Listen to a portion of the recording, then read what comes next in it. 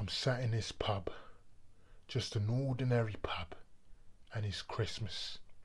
Everybody's had one over the eight, and there's a group of lads, football supporters, that type. 11 stone, walking about like they think they're Frank Bruno. And there's this girl, 19, 20, and she's drunk. And she's got it all there. The figure, the looks. The lads are laughing, joking with her. Give us a kiss, eh? And she does. Well, it's Christmas, I think. Well, it is Christmas. I sat watching for an hour. She was well pissed. They all had a go, kissing her, lifting up her skirt. Pub was packed. Nobody noticed.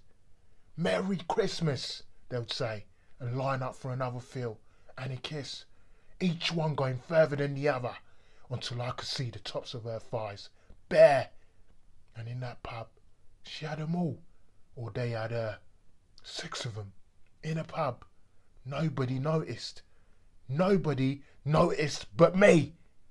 It was a strange feeling, a weird feeling. I remember walking over to where they were. I was aroused more than ever before in my life. I stood in front of them, looking at them. The first head was quite hard. The others were soft like eggs. They hit the wall and smashed. The girl got up. Give us a kiss, she said. Give us a kiss. Go home, I said. Please. Go home.